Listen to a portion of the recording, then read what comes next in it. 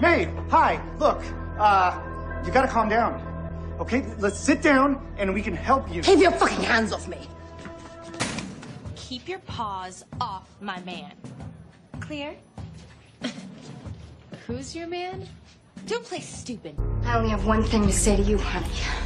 Keep your lips off Superman. You know the rules, hotness. You gotta keep off these bars. These bars? Yeah, those bars. So, uh, is, is Jake your only child? Uh, no. We have 12. I couldn't keep her off me. Oh, and now think I've broken my hand. Wait, let me take a look at it. Okay? No, you keep your hands off me.